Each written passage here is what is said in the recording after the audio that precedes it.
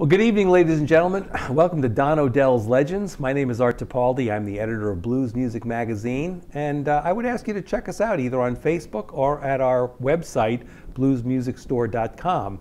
Uh, tonight here at Don Odell's Legends, and Legends is, is the appropriate title for tonight because once again Don has brought in a legendary performer. Um, he's a dear friend of mine. I've known Bob Margolin for 25 years since we sat together on the Blues Foundation Board of Directors back in the 90s. Yes, it was. But uh, Bob, uh, he writes for our magazine, Blues Music Magazine. Bob does a, a, column in every issue and has been doing that since this magazine began and also Blues Revue, right? Very close to the beginning of, of uh, Blues Revue. How, how, it started was uh, somebody called me up to interview me, and I said, by the way, I've been doing some writing for local entertainment uh, magazine in North Carolina, and I wonder if you guys would be interested in the pieces. So I sent one to Bob Vorel, sure, and wow. he wrote every, he put them through every, every one of them. Uh, since then, since yeah. about 93 or so. Yeah, because that magazine started in 91 or 92. So you've been around with that magazine since its beginning and now Blues Music Magazine since our beginning. We, we just sent our 18th issue to the printer this morning with, again, another column by Bob. But, you know, here we are talking about his columns. Uh, what really needs to be talked about is the, the, the wonderful resume you have in music. Um, I don't know how many of our fans are new to the blues, but uh, Bob was Muddy Waters' guitar player from 1973 to 1980. Is that correct? yeah, those right? are the right years. That's, yeah, and that's good. Most people will even say my name wrong or spell, spell it wrong, but we're doing great so far. Yeah, and and well, that's because we've known each other. But you know, uh, so here is this guy Bob Margolin who grew up in Brookline, Massachusetts, and you hook up with Chicago blues legend Muddy Waters. How what was the blues scene like for you? You must have been in your late teens. In, in no, uh, actually, in 1973, when I joined Muddy's band, I w- was 24 years old. Okay. And there w- there was a teenager in the band, Hollywood Fats. No way! Oh. Uh, we were in, in he, he joined the band in March of 1973. I joined the band in uh, in late August, and so there was about three months when we were Muddy's two guitar players. Wow. And there is a wonderful video you can find uh, of Muddy Waters on the Midnight Special uh-huh. with. Um, uh, Hollywood Fats right. playing guitar, me playing guitar. Oh, was wow. one. Uh, I'd been in the band a week. Wow! And wow. we were already in a well, beautiful downtown Burbank where yeah. the studios where were. that was, at. Yeah, yeah, yeah. And uh, Willie Big Eyes Smith on the drums, George Mojo Dreamy Eyed Good Looking Buford on the harmonica, as Muddy would introduce him if I he had a little. Piano player was. Yeah, Pinetop Perkins was in there, and cool. uh, Muddy used to tease him a lot for being old because he was born in 1913 compared to the 1915 that Muddy claimed. Claimed. Uh, yeah. And I'm yeah. going to give him the respect to go with it. If anybody asks me when he right. was born or how old he was, that's what he said very consistently. Yeah, yeah. But so it might not have been, yeah. Well, according well, to his biographer, Robert Gordon, it wasn't. That's right. I read that book. Yeah. By the way, memo to everyone out there watching. You just heard the name Hollywood Fats. Run, don't walk to your YouTube channel and go check out some Hollywood Fats because he was one of the guitar uh, youngsters coming up in the late 60s, early 70s who was turning the blues world upside down, wasn't he?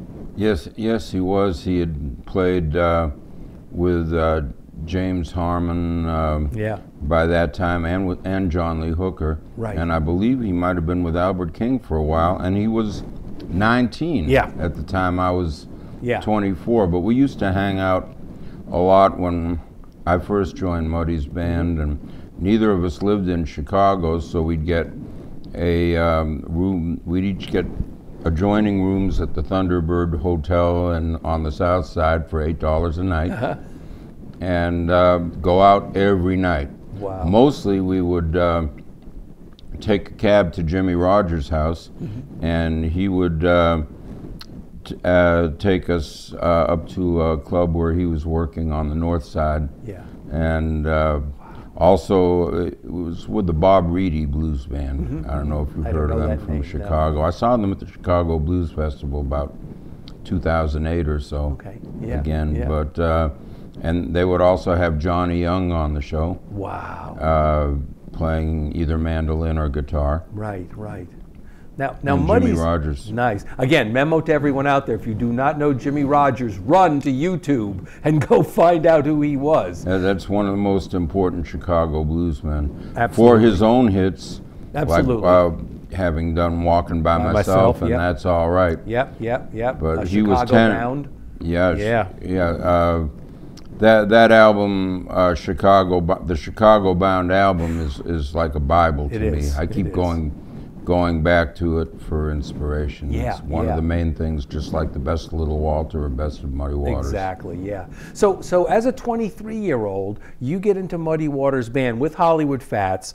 Um, the band is is uh, uh, the foundation of the band is this ensemble playing, where the original band with Muddy and Jimmy Rogers playing off each other. Can you explain a little bit to our, our viewers what that how that ensemble sound works?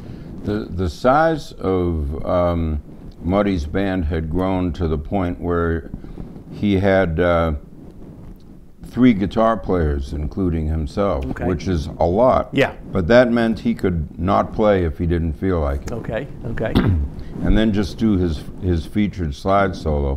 But he played often, and it would be the job of the other two guitar players, which during my time was either Hollywood Fats or Luther Guitar Junior Johnson, who Right. was still with us, and I He lives about 90 miles from here, I think, in New Hampshire.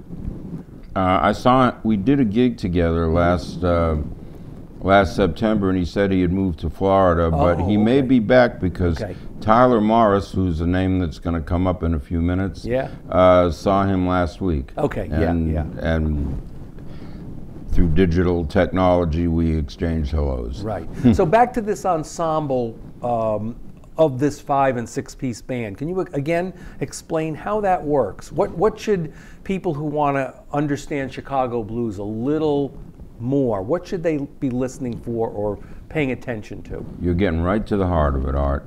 There's, it's not like everybody finds their own part and then executes it, uh, meaning it just the way it sounds. Execute. Yeah. Uh, it's everybody listens to everybody else, and through a combination of knowing the language of Chicago blues music, knowing the other players, and a little bit of ESP, uh, everybody kind of weaves their parts in and out of each, o- each other.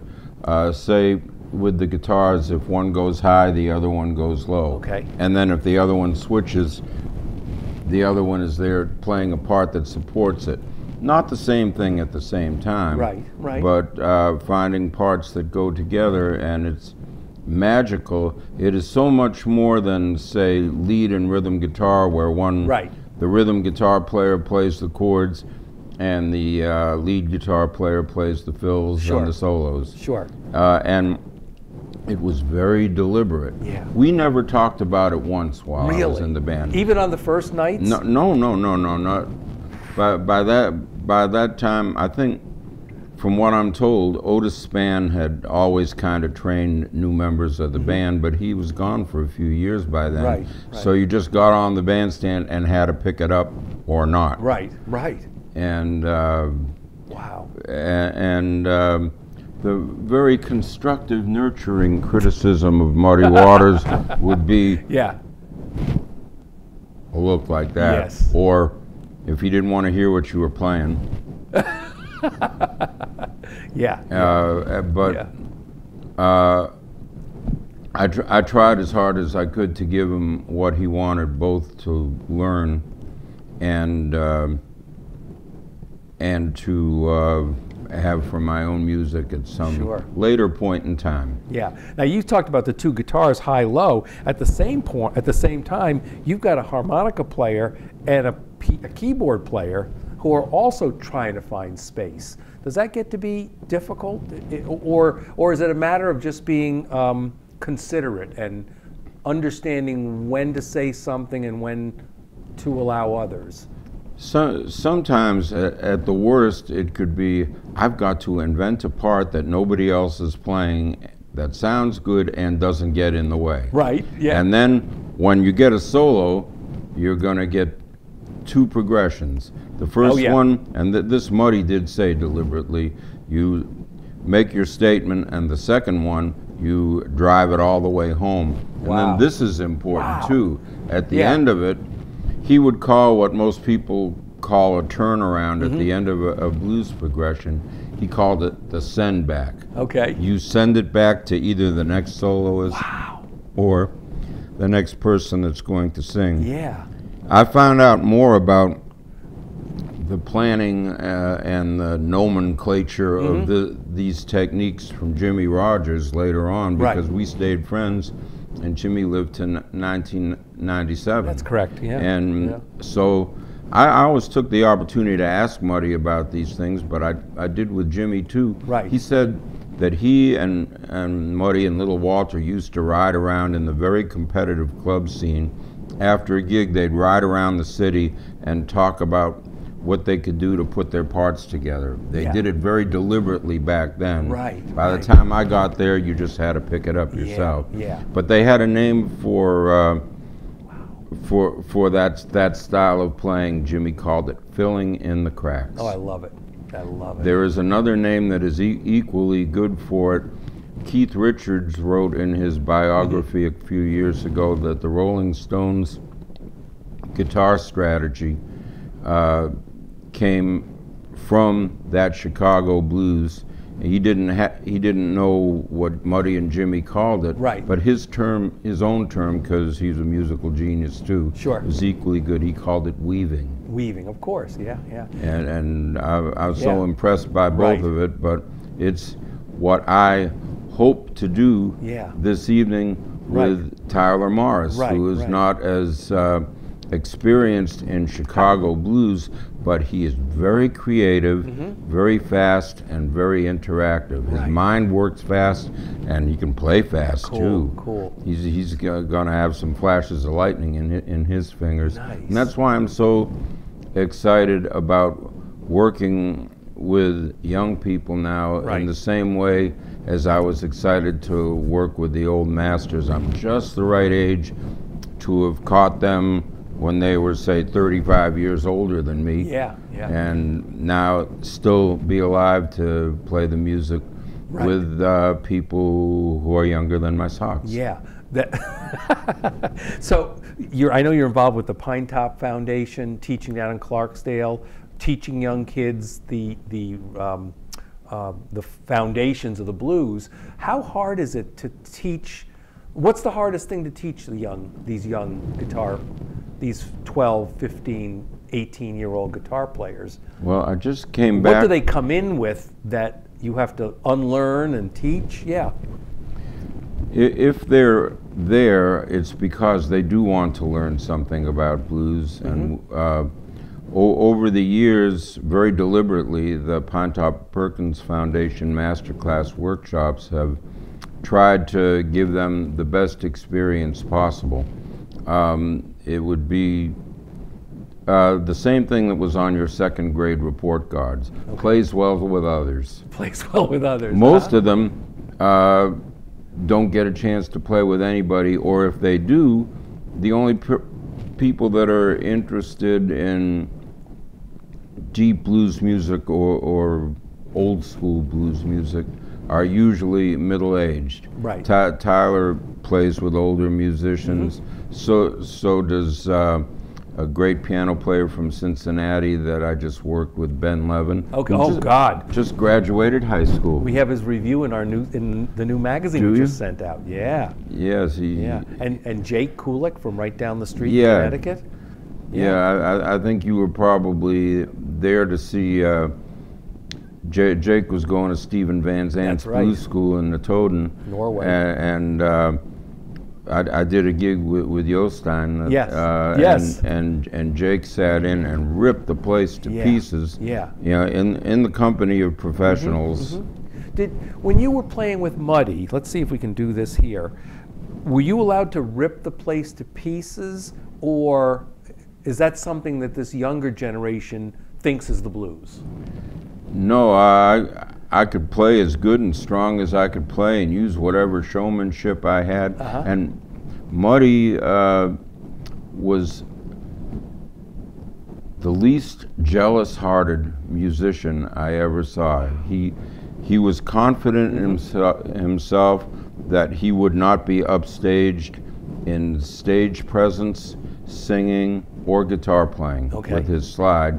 So he he didn't care if it was Little Walter. He's- Right. And he had he had exact words for it, to Muddy's exact words for if you have a star in the band, you got to let him shine. Okay, okay, And so go ahead, do your best. Okay. And sometimes you get a big round of applause from the crowd, and Muddy would smile at them and and at whoever Right. did it because we had a band full of great Yeah, musicians. yeah. Any of them were capable of tearing it up. Yeah, yeah. Jerry Portnoy was the harp player for most of the time I was there, and uh, he's one of the one of the few uh, people that has a real signature sound. You hear two notes and you know it's Jerry. yeah, that's right. Wow. Uh, but- and of course, Pine Top on the piano Yeah. couldn't replace. He he was not a fake Otis Spann. He was the real Pine Top. that's right. That's He right. was older than Otis Spann was. Yeah, yeah. And uh, Luther Guitar Jr. was and still is one of the best West Side style guitar players ever, but it fit in with Muddy's band. Right, right. It, it, it went real well with it. And we played a show together last uh, September with Luther and me and Jerry back by the Nighthawks. oh, oh, And so, sometimes I really felt like we conquered time. I felt like Yeah. I was slipping between the 70s and the present Oh, my when I was around th- Right, those right. guys again. Yeah. Do you find maybe, maybe I'm hearing too too men, too much of this, but that the younger kids under 25 are treating blues like it's nothing more than a guitar solo? Is that something you have to try to train out of them when you get them to the master class? Okay, well, it, it does happen sometimes because, for instance, uh, I mean, are if- you able to talk to Tyler about that kind of? I, I don't have to talk to Tyler Okay. about that. He already naturally wants to play in a collaborative way. Oh, good, nice. We we've played together exactly twice in Memphis during the IBC. Which is just a jam, a yeah. couple songs, Uh huh. right? And then uh, again, uh, when we did a VizzTone showcase a, a, uh, after the Blues Music Awards, Uh-huh. And there, there's video to prove it, how our guitars go together, and it's not just you go high and I'll go low, and it's not like just trading. I'll play a lick and then you play a lick and I'll play something, but they weave. That's They fill in the cracks, and it's on YouTube right now. Yeah. There, there- there's video evidence, Right. uh, uh, undoctored raw footage. Right, And that's nice. uh, and now we have to prove it all week, tonight, that's and, right. and the next the next four nights. That's right. You know, for everybody out there, again, who's watching this, Tyler Morris was here in Don Odell's Legends back in March, and we did an extensive interview uh, with Tyler. So if you want to see what Tyler's show is about, you can just simply Google it on Don Odell's channel uh, from YouTube, and you can also hear our interview. Um, you've got a new CD coming out in September, you just told me. Yes, it was. That's number what? uh, yeah. who's counting? Who's Not me. Yeah, yeah. The Uh, last one was called. It's number next. Yeah. What was the last one called? I, I see the cover. My Road. My road. My Road, which was a, And so, the, because there were plenty of personal songs in it, and Pat Morgan thought of that name without having heard any of the music. really She Great title. to, to her great credit. great title. And so the new CD. This is what now been about three years since My Road. Uh, yeah, two and a half, three. Okay, so you've had enough time now to have new I, experiences. I could see it was time. Yeah. Well, uh, I had the idea this time to redo something that I had done. Uh, it, it turned out to be the first la- uh, VizzTone label group album. Uh-huh. Uh, I did an album called In North Carolina because that's where I live and I did it at home. Right. But I played all of it myself. Uh-huh. Uh, and I decided to do that again and really take my time with it. Okay. So I've been working on it since January at home, and about two weeks ago, I finally said, I think this is the best I could do. It's finished, and nobody had heard it but my wife Right. Nice. and me. I Yeah. didn't want to. Bruce Who's the worst critic, your wife or you? I know. Uh, me. yeah, I was But, say, but yeah. Bruce Iglauer taught me a long time ago when I worked with him for Alligator don't send anything unless it's the best you can Right. possibly do. Right, Don't yeah. say, but but this is only a Yeah, rough mix, or the song's not completed yet. Not you. You have to show it at its best, and I felt this was at its best. The first person I sent it to was the recording engineer, uh, a golden ear genius named Mark Williams from Okay. Charlotte, North Carolina, uh, and said, Did I do okay without you? I acknowledge that I learned most of what I know about mixing and mixing Right. and a lot of musical concerns from you. Yeah. And he, and he went through it song by song, wrote a few comments, but said, This is ready for mastering. Oh, beautiful. And you cannot imagine the. Yeah. It, it would be like an editor finding out that their uh, Mm-hmm. magazine was ready to deliver the printer on time. I know that feeling, Mr. Do you? Margolin. I certainly do. And I just want to say, when I send you a deadline for a column, that column is there well before the deadline. I'm the soul of punctuality. You're a fa- fabulous writer. You know, finally, years now later, decades later, what from Muddy still resonates in, in Bob Margolin when, when he's playing? Well, it is the attitude of collaboration rather than, say, a front man and a side man that's just there to fill a role. You play the piano part, you play the second guitar part, I'll play all the solos. Yeah, yeah. Uh, there are plenty of great legends that play that way, and, and not not just blues music. That all, all of this is to support me. Muddy, for some reason, all the way back to the recordings he made in Missi- Mississippi in the early 1940s, uh, always liked to work with somebody. He was also great just by himself on the guitar. Yeah. He was fine on acoustic guitar. He did have kind of a signature slide guitar solo that he could count on to tear the house up, and he had a few songs like "Got My Mojo Working" and Right. "Mannish Boy" that were guaranteed to close the night Yeah. and uh, make him just about unfollowable, Right. or at least so I was told Yeah. by musicians that, like great, uh, let's say, let's say, much more famous musicians that Right. would bring Muddy on, on to open their tours. Right.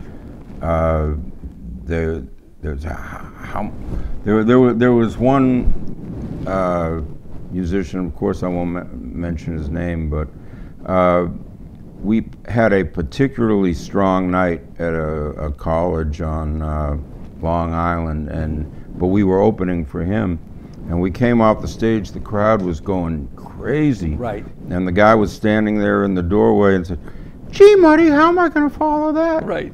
And Muddy said, "Just let him cool down a while, son." uh, Oh. it, it, it was cute. The Yeah. guy's a great, great musician, Cool. but he, he had been kind of freaked out. And I, I've seen more famous. I've seen superstars. get- Yeah, yeah. But get you and I, out. you and I, Bob, could talk about you know the last waltz and your experiences there, working with Johnny Winter on those Hard Again albums that brought Muddy back, uh, all the work you've been doing lately with with so many people. I just appreciate so much that you're coming in here to Don's and we're going to get a chance to hear you. So I, I, I appreciate being able to do that. Yeah. But let me tell you what the, the concept of, of my album, Oh, yeah, this yeah. new one, new one is. Uh, and it came to me over the last few months as I did it. It developed this way. I, I decided to make it a self-titled album, Mm-hmm. and because it's going to be really who I am now, but without anybody else playing on it. As much as I love to collaborate, Right.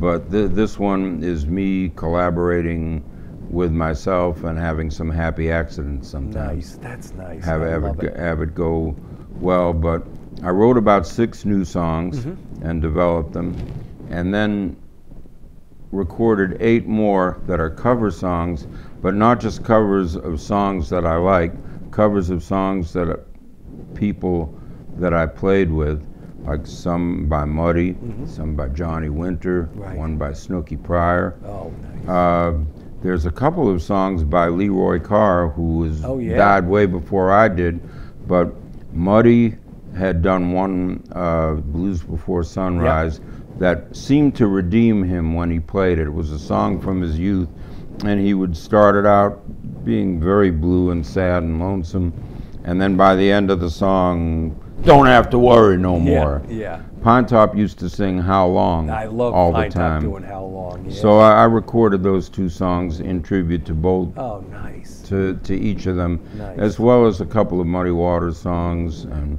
Yeah. a Snooky Pryor one. And there's, uh, as you've seen, I've done some uh, Last Waltz celebration yeah, shows. yeah, yeah. And I got inspired by those two. I was uh, uh, Warren Haynes and Don Was Yep. were the musical directors, and we had all these amazing musicians, including later Garth Hudson from the, The from the band, band, and uh, John Medeski on keyboard Wow. sometimes.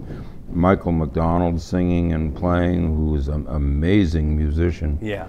uh, and uh, j- j- Yeah. just uh, uh, Jamey Johnson uh, from the uh, world of uh, kind of outlaw country music Okay. Yeah. uh, was just fantastic. Boy, could he sing Levon Helm songs. oh.